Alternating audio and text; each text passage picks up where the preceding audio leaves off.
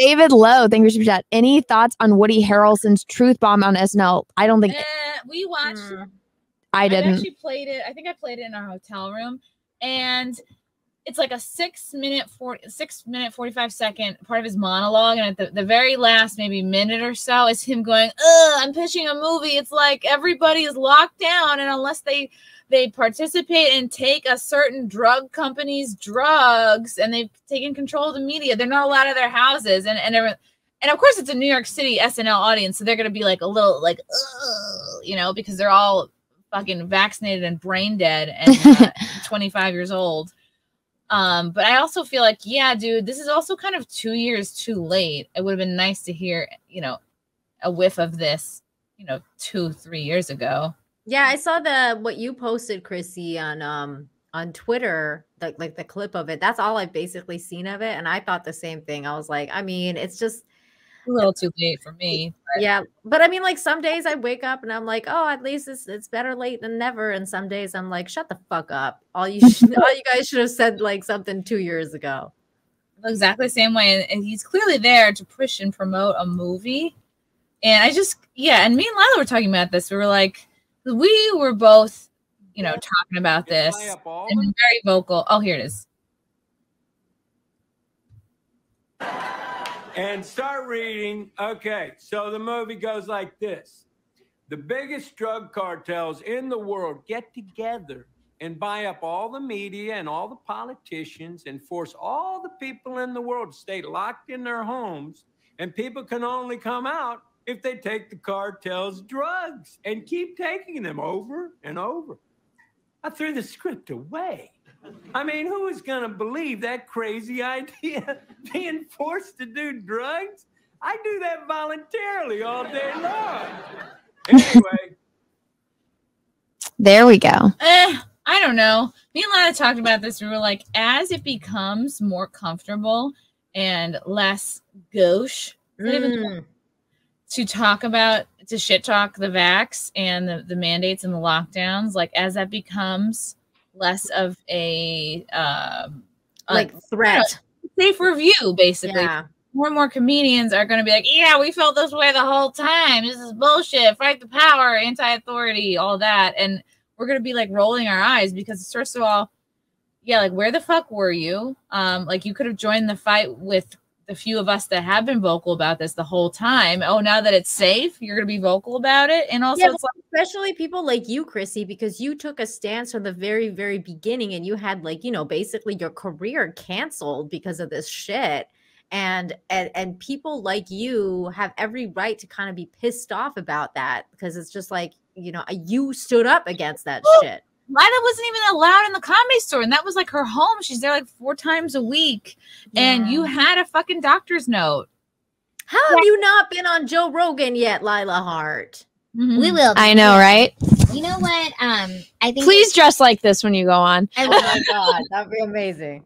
I uh it was really it was really great actually that on Thursday night Chrissy actually performed or no it's Wednesday night. It was Wednesday night. At the comedy store. Yeah, Chrissy actually performed um at the comedy store on Sam Tripoli show. Shout out to Sam Tripoli. I was on his podcast just about a month ago and it was really awesome. Um and she was on the show and I went to the comedy store and this is the first time I've gone back since I wasn't allowed allowed in over uh, in September of 2021 is that when that happened.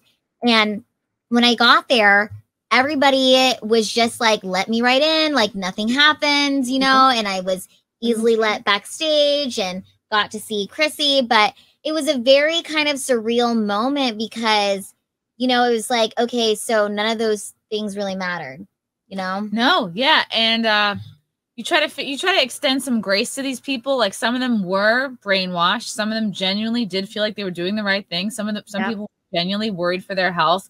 But then there are the people that you know became kind of just like hall monitors on crack, and you know used that as an opportunity to like wield power over others, and that I don't like. And you know they you know have these like doormen at the comedy store and the people are just doing their jobs like that they're doormen they're not allowed to let people in but it's like it, it's Are they uh, still masking over there? there's nothing no. No. masks no nothing right now Mm. So, and Lila, you were like, you had not been back to the comedy store. What was it? Three, no, two years or something? Yeah, last time I was there was uh, September of 2021. Crazy man. It was it was genuinely nice to see some people I haven't, you know, obviously I haven't seen, but it was just such a weird feeling because I think a lot of people are just afraid to speak up on these things, which, you know, because as you see it happens, if you speak up on these things, you can get censored, you know. So now I feel like the the best thing is now people are starting to speak more. And I, like people have said better late than never, but it's like, yeah, where was this two years ago? But it's Mhm. like the point is just start speaking now, Right. you know, because we need to get out of this mess. Yeah. You, you you you girls want to hear something crazy? Like I'm just I, I'm feeling weird talking about this with you guys because I feel like you're we're on Anna's channel and I'm like Anna just I know, dude. I'm so paranoid, Nina. I'm like, fuck, like, I know. where's the button? And you guys are there, so I'm like, are we on Anna's channel? But we're on It's Chrissy. not, it's not me. So I'm gonna switch back because I just had uh we were ordering food because we haven't eaten yet. So I was Anna disavows everything Chrissy So. I- over here like disavow, disavow, but it's okay. Okay, you want to switch back? Okay. Oh. We're gonna have pizza. We're gonna have pizza. what kind of pizza? I'm Chivy. Pepperoni? Christy nailed it. Furby Slayer. Thanks for the 10. Christy nailed it. Where was uh, this three years ago, two years ago, etc.? These people are trying to grift popularity. Same with the MSM suddenly telling the true story from three years ago as if they are standing up. I know I, I feel very much mixed feelings because part of me goes, Where the fuck were you? But on the other hand, I go, Okay, like not everyone's dealing with the same information that you have. People are at different levels of brainwashed and different levels of red pilled and waking up in general. And it's, you know, different things trigger different people into finding out more and waking up. So it's like, all right, i just try to I, i'll just say this, you know, where they are. this time last year, uh, just a year ago, I was so sad, so depressed, had gone through so much with just leaving California. But now I look back on it all and I'm really grateful for everything that happened just in my own personal life because I wouldn't be here. I wouldn't have met Chrissy. I wouldn't have met Nina. I wouldn't have met Anna. I wouldn't be here. And I'm just really grateful for you guys and your bravery to speak truth. So Aw. We love you. love- Aw. go run inside and give Peaches cash for the tip. So I'm gonna be right back. Okay. Pizza. Okay. I can't wait until your country becomes like actually normal so I can travel there. I don't know what you're at. David McCoy, thanks for the super chat. Two years ago, it was done from their homes and it would never had aired. Oh.